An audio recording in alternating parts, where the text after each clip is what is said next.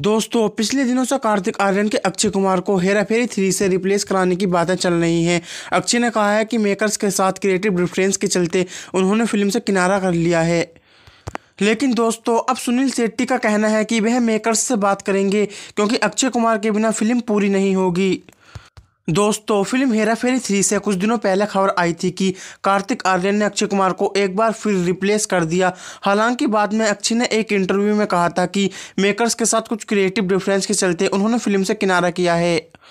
दोस्तों, अब फ़िल्म के लीड हीरो सुनील शेट्टी ने एक बार फिर से अक्षय कुमार के फ़िल्म में होने की संभावनाएँ जताई हैं। उनका कहना है कि अक्षय की यह बात सुनकर शोक्ट हूँ। मैं खुद मेकर से बात करूँगा। अगर अक्षय का कोई रोल फ़िल्म में रहे तो वह फैंस के लिए बहुत बड़ी खुशखबरी से कम नहीं है। दोस्तों, एक बातचीत के दौरान सुनील शेट्टी ने कहा है कि सब कुछ ट्रैक चल रहा है, लेकिन मैं यह नहीं समझ पा रहा हूँ कि आखिर अचानक से हो क्या गया है। अच्छी फ़िल्म का हिस्सा नहीं है। मैं धराती बैंक के प्रमोशन से ज़रा फ्री हो जाऊँ तो मैं फिरोज नाडियावाला संग बैठकर इसके बारे में बात करूँगा कि आखिर ऐसा हुआ कैसे। अक्षय परेश और मैंने फ़िल्म के लिए कमिटमेंट दी थी, लेकिन अचानक से पता लगा, अक्षय ने फ़िल्म छोड़ दी है। इससे मुझे दुख हुआ। सुनील शेट्टी ने उम्मीद भी दी है कि अच्छी फ़िल्म में वापस आ जाएँगे।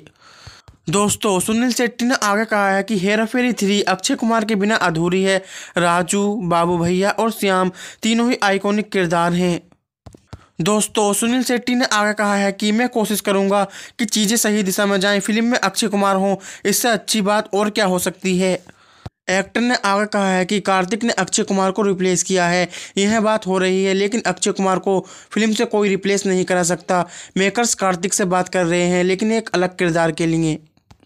तो दोस्तों, ये थी हमारी आज की वीडियो। अगर वीडियो पसंद आई हो तो वीडियो को लाइक एंड कमेंट कर देना।